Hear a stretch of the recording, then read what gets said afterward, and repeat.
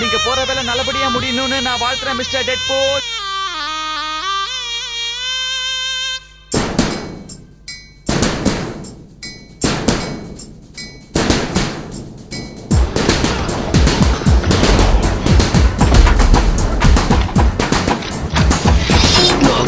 திங்க முடியாது. வரியா?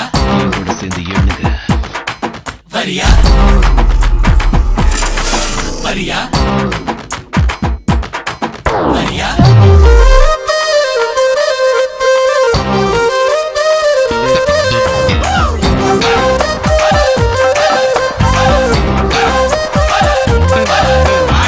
கேட்டவங்க நான் ரத்த சிந்தறத பார்க்க கூடாதுன்னு தான் நான் இந்த மாதிரி வித்தியாசமா ரெட் சூட் போட்டிருக்கேன்.